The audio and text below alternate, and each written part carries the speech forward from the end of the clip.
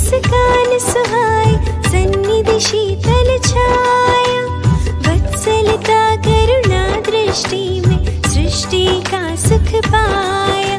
जब शीश धरे चरणों में, मेधा संप्रेषित करते